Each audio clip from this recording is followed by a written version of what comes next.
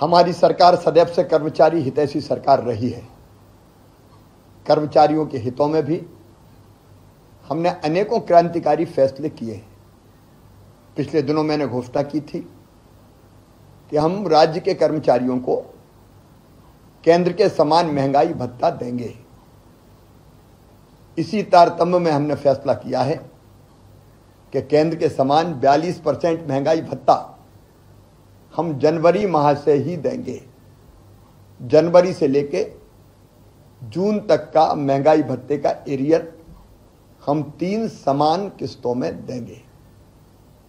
वो सारे कर्मचारी जो छठवा वेतनमान प्राप्त कर रहे हैं, उनके महँगाई भत्ते में भी समानुपातिक वृद्धि की जाएगी।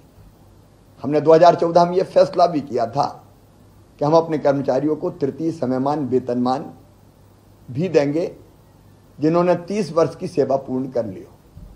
अब हमने ये फैसला भी किया है कि हम अपने कर्मचारियों को चतुर्थ समयमान, वेतनमान भी देंगे, जिन्होंने 1 जुलाई 2023 तक अपनी सेवा के 35 वर्ष पूरे कर लिए हो। उन सबको चतुर्थ समान, समयमान, वेतनमान भी दिया जाएगा।